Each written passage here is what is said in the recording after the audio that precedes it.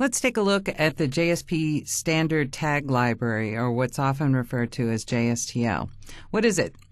It's a set of custom tags that are now part of the JSP specification. So as developers, we can rely on these tags being available in any modern JSP implementation. An implementation of these tags is mandatory to be qualified as a JSP 2.0 implementation. The use of JSTL can significantly simplify the development of our JSP, making it easier to read, making it easier to maintain, uh, stretching out or extending the skill set of our JSP developers. There are five categories of tags that are available. They're the core tags. These are generally referred to, the URI is what's important here, and traditionally the prefix for the core tags is uh, C. So you see here a reference to the availability of the tag library description at uh, java.sun.com. We use the taglib directive, the JSP taglib directive, to define, in fact, that we're using a tag library. There's another set of tags specifically uh, optimized for use in providing inter- internationalization as well as some basic formatting. An example of the use of this taglib directive we see here with the URL uh, the URI pointing to JSTL slash FMT and by tradition and convention. And if you're uh, researching the syntax, um, you quite often see this referred to with the prefix FMT. Although that's not a requirement, it is uh, quite common to distinguish uh, these tags. Another tag library that's uh, quite commonly used is the JDBC tag library. We see here an example of the taglib directive pointing to the URI for JSTL slash SQL. And traditionally, again, uh, you see the prefix attribute set to SQL. There are some XML processing tags if in your JSP you're doing an awful lot of XML processing. We see here what the URI is currently for the XML tag library um, traditionally again prefixed with the X um, prefix, and function tags. Function tags allow us to do exactly what it defines, which is uh, call out to some standard JSP functions. We see here the URI uh, JSTL functions traditionally prefixed with FN. If your application server supports JSP 2.0, you should not have to actually physically have the tag library descriptors or the TLD file or the jar file for JSTL. Um, you should not have to package those in your WAR file. They should be available uh, within a an application server environment that is up to the JSP 2.0 specification. There are also extensions to these tag libraries providing us what's called a runtime version of the tags, giving us additional features such as the ability to supply dynamic values for some of the tag attributes. The URIs for the core for the uh, format or FMT tag library are slightly different. Uh, for the SQL library, notice um, the extension in the naming of the tag library descriptor with underscore RT, and also traditionally prefixed with underscore RT added to the normal prefixes. It's important to keep in mind that some application servers did not seem to support a separate runtime version. Instead, the base libraries allow expressions as tag attributes. For example, um, if you're using Tomcat, which we're not, we're using JBoss, which supports the runtime environment, but Tomcat 5.x would be an example of one of those servers. So, what are some of these basic tags and how can we use them? From the core library, from the core JSTL tag library, we can display a Java bean or its property. It's quite common to see the use of the out tag from the core tag library and set the value attribute to be whatever it is um, that you want the value to be and written in line or written out in the output stream generated by your JSP. Note the use in the out tag of the expression language, in other words, the dollar sign reference to a product bean instance name and the value price. Another example of using the out tag and specifying the value attribute and also using an uh, optional attribute called default to specify a default value if there is no value for the price attribute in the product bean or if it is null. To define a new variable, there is a set tag in the core tag library to set a variable and the only reason you set up variables and initialize variables is because you want to use them over and over again. So in this example, we create a local variable called p um, and, and set the value of that local variable to the object product bean. Now the name p can be used locally within the JSP, can be used in place of product bean as the whole object instance name. Another example of using the set tag and specifying a target um, is being able to set property values on existing variables. And here we're using the local p uh, variable that we set on the previous line. So what we're doing here is updating the price property of the product bean as referenced in the local variable that we created uh, using the set tag. One of the most elementary skills in building any uh, script or program is evaluating and executing code based on the results of a conditional test. If this is true, then do this. We have in the core JSTL an if tag that executes the body of the element if the condition that is declared using the test attribute, if that condition returns, in fact, uh, true, a Boolean value. So what does this code look like? The opening tag, notice we're using the if tag, and we're using the test attribute, and we're evaluating if user bean dot pass order count is greater than 5. And we're in the body of the tag, we're going to write out you are eligible for free shipping.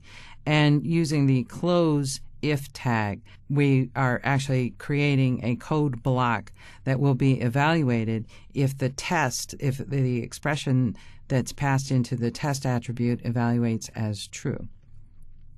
Optionally, you could save the result of the condition in a Boolean value. So, for example, if our test is true, then we want to create a variable, a local variable, in this case called is frequent shopper, and store that within the body of our code. So again, printing out you are eligible for free shipping after the close tag um, for our if, we can create another test to see if the um, variable is frequent shopper exists. We have similar tags available to us for other logical constructs in JSP. So we can also model if then else extensive logic um, using the choose tag, using the when tag, using the otherwise tag. Choose tags are used to choose um, and execute code based on multiple possible variables. So we see the opening choose tag here, and then we specify the test um, when user bean dot membership level equal goal. So we're uh, using that expression as our test value. Um, if that is in fact top down, if that is in fact um, what membership level equals, then we will print out um, some text here. Close the when block, another when block. In other words, another test. All of these when blocks with various tests grouped within a choose block. Optionally, we can specify an otherwise block uh, using the otherwise tag this is uh, whatever it is you want to execute, regardless of um, the value that we're testing. So you have an otherwise block in your, or an otherwise tag in the core library that f- is optional in an overall choose block. So what we have is the use blocked using JSP tags of a choose block, two when blocks, and an otherwise block to give us a little more sophisticated logic in um, our tags. We also have iterator tags for looping through lists and collections and maps.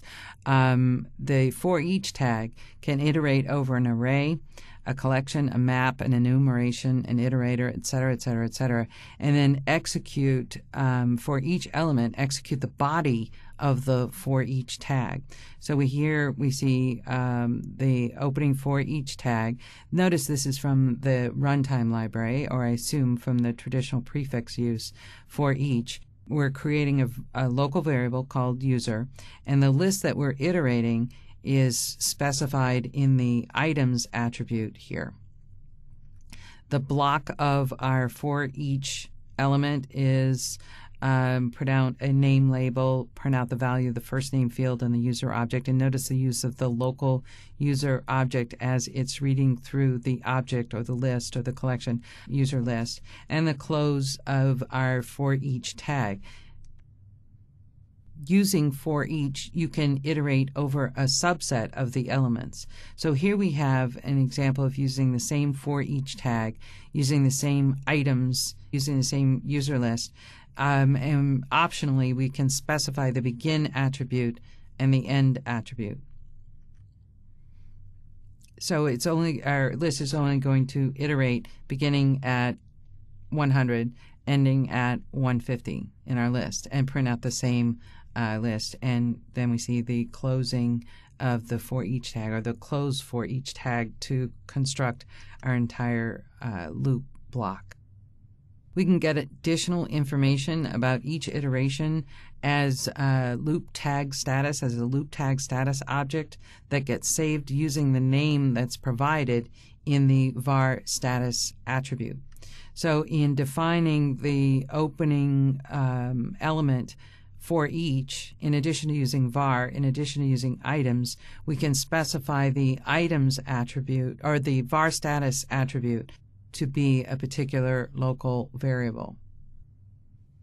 In the block of our loop, we see that we're interrogating information about the loop status itself using the status variable. So we can ask for, for example, count in this case inside of the loop and simply closing the block, the for each block. So what we've seen here is just the addition of using the var status attribute to create a local variable that gives us some information about the iteration as a loop tag status object. What are some of the tags that are available to us to provide internationalization or uh, what is commonly abbreviated as I18N? These are common requirements in any website or web application that is going to provide rendering of content in various spoken or read languages. It gives us the ability to dynamically set the preferred locale of a user. Different users can have different locale choice, or it may be that we are setting a system wide setting. Users can change the locale um, by changing settings in their client or their browser and a locale object in Java identifies any combination of language and the standard country code, as well as any cultural variants within the country um, or with countries that have derivations of the same language. For example, there's England English, and then there's United States English, and these are identified with uh, various variants of the name of the language. So we need the ability to provide translated text and externalize that translated text in simple text resource bundle files. Then the JSPs should use these bundle files and not write literal strings into your JSP code. The system should get the text from a, what's called a message bundle file um, that can be discovered and is appropriate for the user's preferred locale in addition to needing the ability to render spoken language or printed language, we may need to be able to um, accommodate the differences in how numbers are formatted, how dates are read, how currency is formatted, um, if that's the output we need to render in our application. It's quite common to have to deal with these issues with internationalization. How can your application set the preferred locale of the user, overriding user settings or um, system settings? The locale can be set from the controller, usually a servlet in a model view controller architecture, or it can also be set from the JSP. It's usually better to have the controller set the locale um, because the controller is uh, fetching the locale once and then dispatching that information along the request response chain, uh, regardless of what um, view layer or view artifact is involved. Um, for example, it can fetch the preferred locale from a user profile database if you're storing it in LDAP, for example. Locale can be set at any scope, at the page scope, the request scope, or the session scope. Saving the locale in the session puts the responsibility of managing preferred locale on a small number of servlets. For example, the login servlet can save the locale in the session. You can also provide a language switcher servlet if it's necessary for a system um, where you're only supporting certain languages or you want to expand support for languages. And that servlet would update the locale within the session using standard uh, setters. A locale can also be set at the application level. This can come in handy when the application supports only one locale, but it's not the same as the JVM's default locale. By default, a JVM uses the operating system's locale. To set the preferred locale from a servlet, use the core config class. For example, in the config called the set, uh, the set method and pass the uh, session object and pass the locale.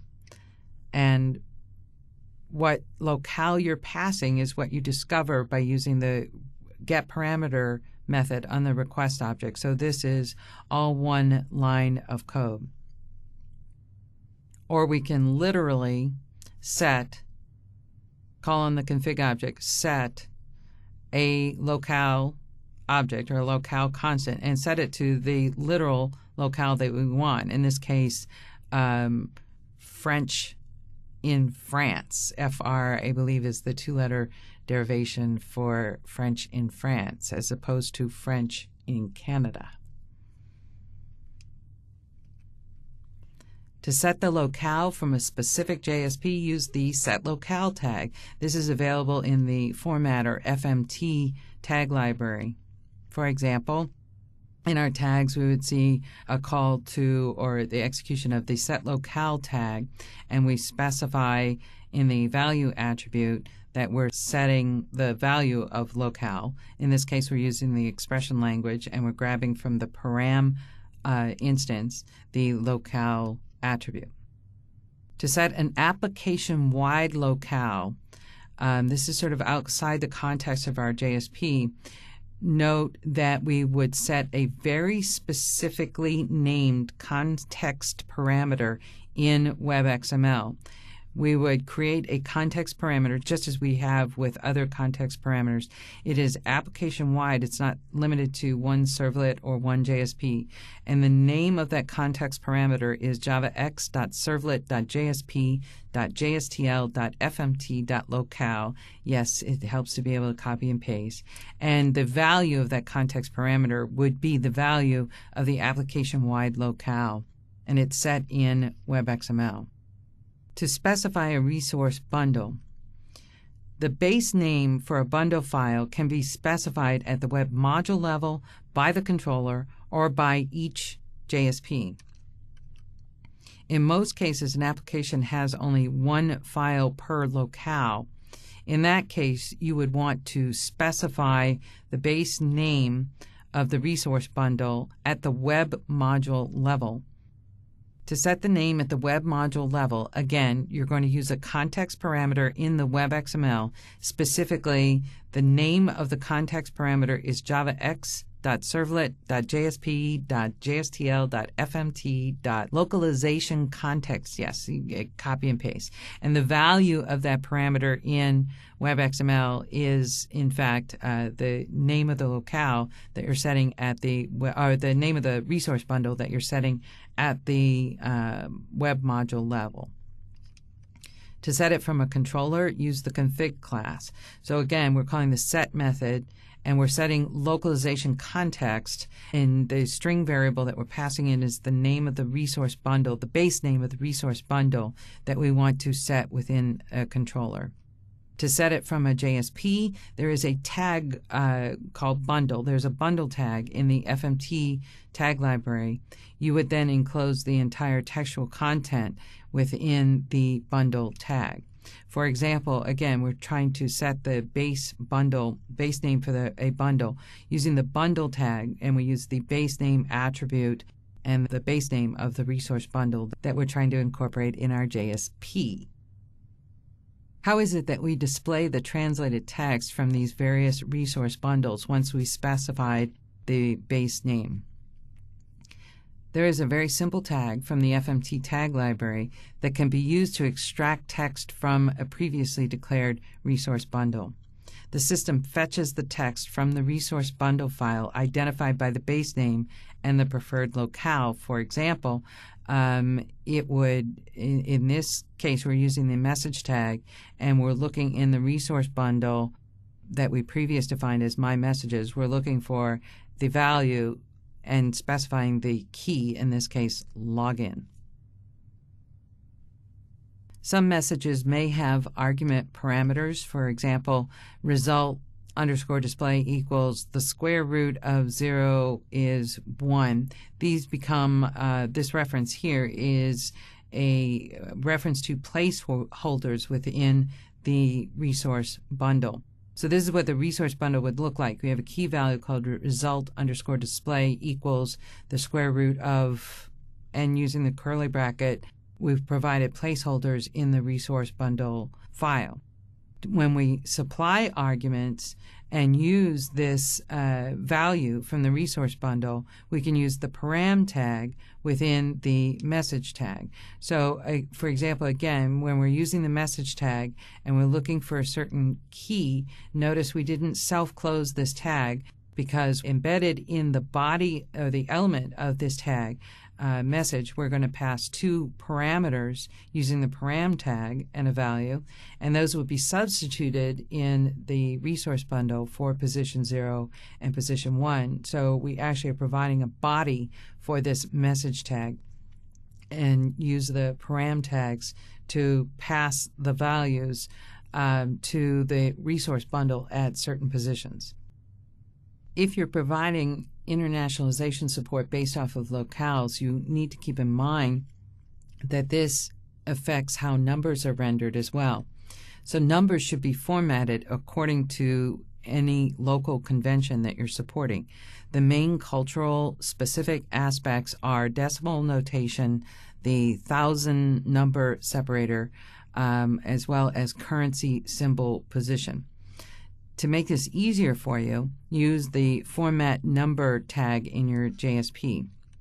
So what this would look like is uh, format number, format number, and we're working with two numbers here. In the second one, we're actually using the type attribute to specify that this number, product at price, it should be formatted as currency we can also specify the currency code.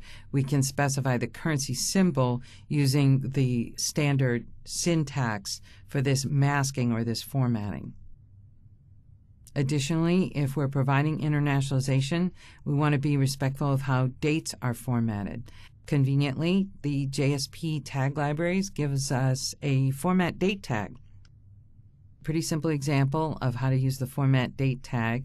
We're going to instantiate a JSP useBean object, even though it really doesn't have anything to do with format date. But obviously, we're creating a Java date object so we can see the results um, formatting our date in different uh, cultural situations with different locales set.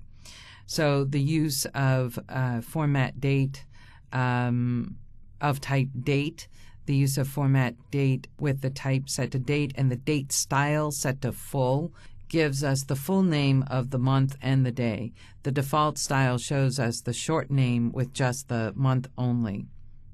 Both would give us the full date style.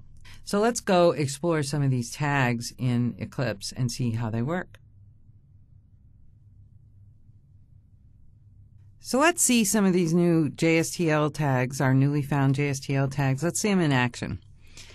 I have a uh, servlet file here, which I'm going to uh, rename. I've used it before in uh, just instantiating a bean. I'm going to extend it so that I can save my old version um, I'm going to extend the uh, functionality of this, and I want to give it a more meaningful name other than demonstrate or demo EL. I actually want to demo um, JSTL. So I'm going to use the tool to track everything in my workspace and rename this file effectively. I'm going to right click on the demo EL Java file and choose refactor and rename. And this, and I'm going to rename the Java code, which effectively changes how Java is discovered, how it's compiled, what its fully qualified name is. And because this is a servlet, it's also going to change the reference uh, to this servlet in the web.xml.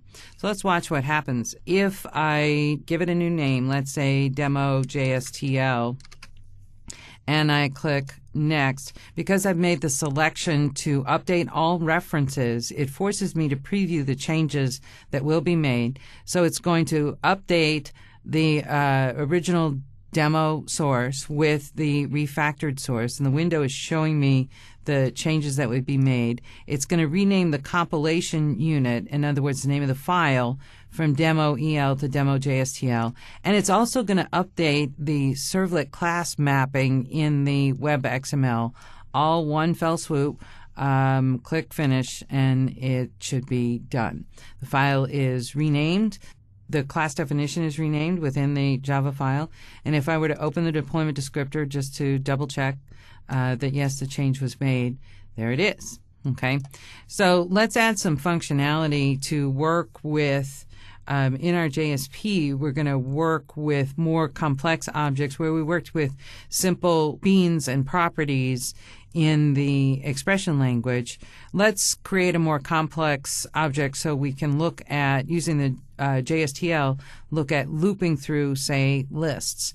So instead of actually um, just creating one instance of a an employee bean object. I'd like to create a few of them. So very simple Java code, not much to change here. And I'm going to copy and paste it from a text file. Instead of creating just an instance of employee, I'm going to create an, an array list of multiple employees and populate them. So I have uh, one, two, three employee objects that I'm going to add to an array list. And notice um, array list cannot be resolved because I pasted this in and I don't have the proper import statement. So one quick Control Shift O and it should resolve my imports and add an import statement in my code and uh, some recommendations and warnings about Java features for generics and that um, array lists now should be parameterized, but we're fine with that. Little copy and paste gone awry um, because I need to change or I want to change the uh, object that I'm setting as the attribute with a key name employee instead of emp, which I had before. I'm actually going to set the whole map so that I can use my tags to retrieve this array list and loop through it, uh, iterate through the array list, and and use some of the standard tags to do that. Um, I think I'll create a different uh, JSP to do this. So I'm going to go ahead and rename um, the or uh, change the string and create another JSP to demonstrate specifically JSTL, but I need to make sure I match those file names when I create the JSP. So the servlet code should be good to go. Nothing um, very Java special about this. The only thing we really changed in this um, do get method is that instead of adding one employee bean instance, we're going to add an array list of employee bean instances and we're still going to set the attribute. We're going to use the set attribute method on the request object and set to the key value employee. So I'll go ahead and I'll save that. So we saw renaming using a tool to refactor the Java code. In other words, rename it and update all the references um, for the Java code itself, including updating the reference in the WebXML, the application deployment descriptor. Now, what I'd like to do is take this uh, JSP that I was working with for the expression language and copy it, create a copy of it with a new file name, and work from there to add some JSTL tags in addition to the expression language. So a very simple copy, a very simple paste. It asked me to rename the file. No, it didn't because I pasted in the wrong place. See, my bad. But watch, I can use the tool to drag it to the correct location. I pasted it into WebINF. I meant to paste it into web content. So I can click and drag to move it. And now it says the file is going to be replaced. I can cancel out of there. I can rename this um, before I move it. Uh, the move effort just clicking and dragging, it's not going to prompt me to rename the file. If I use move from the menu, it will. But I'll give it a new name while I'm here before I move it, and I can move it to the right location. If I hide JSPs below WebINF, I have to use different references, different URI references to get to it. So now, because it doesn't exist, I can just pick it up and move it, and it should move it to the right place, and it did. Uh, my bad, but it happens. Um, where you know you accidentally pasted the wrong place. You got to watch out for that kind of stuff.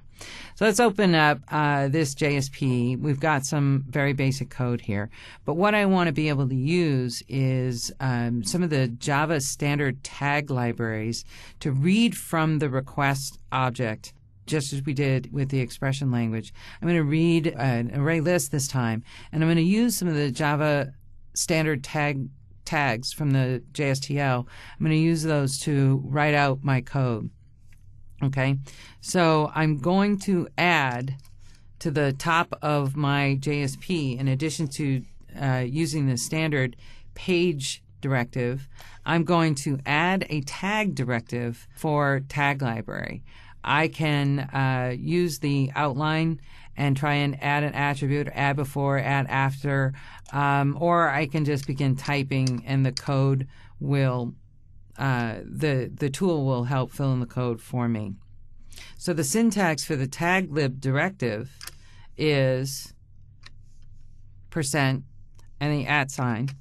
And as soon as you uh, correctly type taglib as your directive, the color will change on the uh, code in the tooling to indicate that, yes, I know this is a keyword, but you're still missing some required attributes here.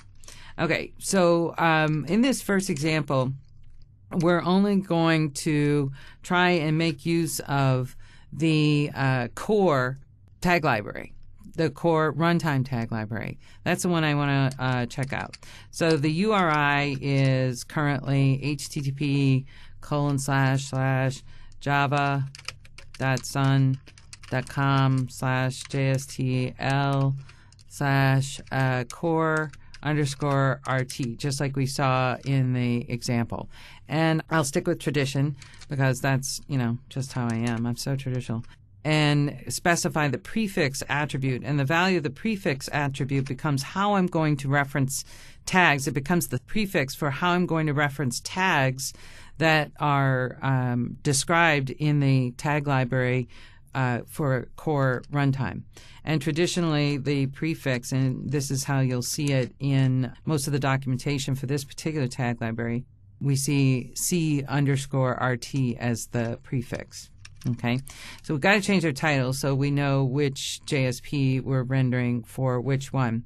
So we're still accessing a request attribute in our JSP, but this time instead of using the expression language or in addition to using the expression language, we're going to use some tags from the standard tag library. Because what we're displaying, because what we're rendering is no longer a simple object or a one instance object. It's actually an array. We need to fix our syntax a little bit here. If I just want to get the first employee in my list, I can reference that list using the standard Java list syntax. Okay.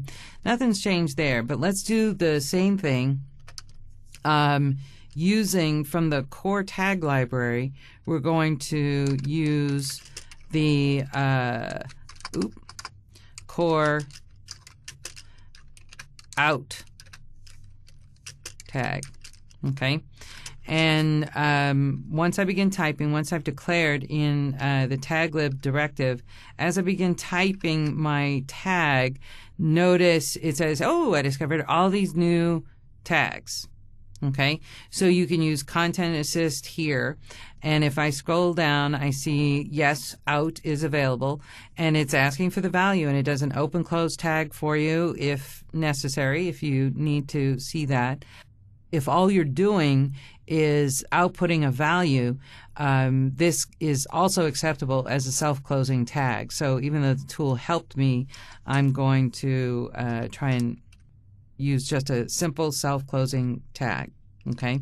Within the value attribute, I want to specify the same thing that I'm seeing above using the expression language, but now we're going to use the out tag so we can see in the output, we can see the difference, essentially no difference in the output, only we're using JSP tags instead of embedding the expression language code, which is not really clearly documented. Once I begin to use the out tag, the uh, in reading this simple code, I can see that yes, this is JSP tag. If I look at the line above, at first pass, without the wealth of information that I already have, at first pass, the line above, employee ID, with the expression language syntax embedded in there is not really clearly defined unless you're used to reading scriptlet tags and expression tags and the expression language tags embedded right in uh, my JSP. I also didn't get the content assist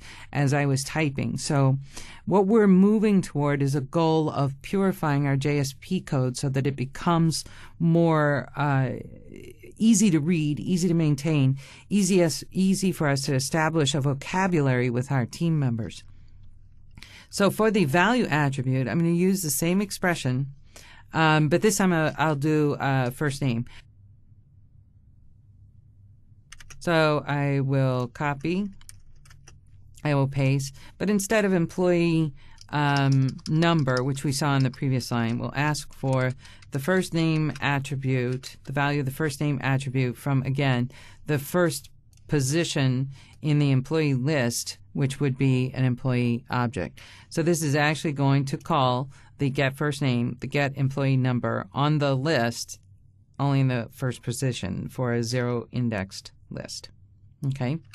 So we should be able to run this give ourselves a little sanity check. What we're trying to see is um, make sure that uh, the tag libraries are available as we expect them to be, and that we have the proper usage of a very basic standard tag. So I run uh, my servlet, and uh, republishing is required because I've changed the code, and the server is starting up. And what we should see is um, we should see JBoss open a browser window and show us two lines. Show us the employee number using the expression language, and uh, another line, although I'm not sure I put the HTML in there, another line showing us the employee's first name. Oh, I did. Um, so the employee ID is in using the expression language and using the core out tag, I get the employee's first name. So let's get a little fancier here. Let's go back to our demo JSP and uh, get a little fancier. Instead of just getting the first value, Okay. We will iterate the list using our newly discovered uh, from the core runtime library, the for each tag to iterate the list. So we'll leave our labels up there because I like seeing my name on the screen. And then um, we'll add another label. Did I put a paragraph tag in? Well, let's maximize this so we can see it on the screen.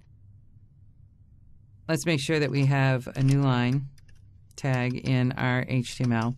And then from our tag library, again, from the core tag library, we're going to use and begin typing, and it helps with the content assist. And this time I actually do want an open close block because in the for each tag and the use of the for each tag, we're going to iterate a list. Now it's already telling me that I'm missing certain uh, attributes. So what I want to do is begin specifying those attributes in the qualifications of the opening of the for each tag. So I'm going to specify a local variable. In this case, um, we'll call it imp uh, for employee. And the item, the list that I want to iterate in my for each is in fact what? Using the expression language, dollar sign, open close bracket, and notice the tool put a bracket in even though I typed it. And what I'm looking for is employee, sorry, as a list. Okay. Now, all I'm going to do inside of that loop is um, grab some information from the employee bean instance at each position in the loop, at each iteration. So the name will be, and I'll use the expression language, emp dot first name and then I'll put some space in. We'll grab the last name field. We didn't put anything in the last name field. Did we put anything in the last name field? Uh, let's look. In our servlet code, did we put anything in the last name? No, we put employee number. So let's do. Um, so let's grab uh, employee number instead of last name. Using the expression syntax, using the curly bracket, amp dot employee number. And then put a line break, an HTML line break after each name and employee number. Okay. Remember that you get the same encountered uh, end of file. Um, usually, when I the, the, when those error messages won't go away, um, the first thing I try because I'm always trying the fastest solution in the Eclipse tooling, for some reason, especially with the JSP developer, is closing the designer, the page designer, and opening it again. And notice the end of file error has gone away. You know, it happens. Um, if I want to in the JSP designer, I can choose uh, source, and here it's not format, it's cleanup document. In the Java editor, it's format. Um, but you can format, you can clean up document. It'll uh, the tool will go according to your instructions and the selections you make here. Uh, the tool will go through your code and, and, and organize it and indent it and um, insert missing tags, um, quote various attribute values, quick fix. Didn't have much um, for it to fix, but I normally I'd like to see things like uh, this for each loop indented, but it's not necessary. Okay, so I will save here. Everything looks good. And now let's run it. We shouldn't have to wait for the server to restart, but we will have to wait for the application to rebuild. And uh, let's run our servlet this time with a multi-valued list and iterating through the list. So the only thing we've really changed in the JSP is to demonstrate using the for each tag um, in our JSP from the core tag library. So run as, run on server. We see the build. The build and the publish needs to happen again, but the server's already started up. So Eclipse should show us a browser window. And we didn't get our list. How come? Let's try hitting. Um, oh, I know. Does anybody know? Anybody see it in the uh, URL? Uh, because the application server hadn't started, it had already loaded the web context uh, deployment descriptor. And when we um, fixed that in the deployment descriptor, it's uh, calling an old JSP or we didn't change. So let's let's do some troubleshooting. Um, nope, it's calling the right JSP, but the URL is not coming up correctly. So it's probably a mismatch with what's loaded in the server. Um, let's look at a quick way to fix that. If I do run as run on server again, I don't have to wait for the build, but notice the URL didn't quite come out right. It's probably because the URL namespace was already loaded. In other words, the server was running. When I refactored the servlet code, it didn't change the instance that was actually running. It only changed the compiled version. So the tool did a lot of work for us, but it didn't do everything. So if I modify the URL here to the actual URL name of my new servlet, I should be able to run it uh, this way, essentially calling out, and it says it is not available. So let's try stopping the server, unfortunately.